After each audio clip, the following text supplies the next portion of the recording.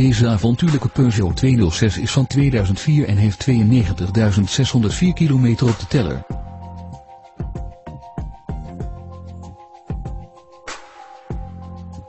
Deze cabriolet beschikt over diverse veiligheidsopties, zoals ABS, airbags, side airbags en mistlampen voor.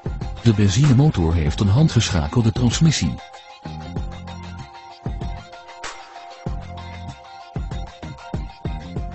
De auto is voorzien van metallic lak en is onder andere uitgerust met bumpers in carrosseriekleur, een boordcomputer, regensensor, bestuurderstoel met verstelbare zithoogte en stuurbekrachtiging.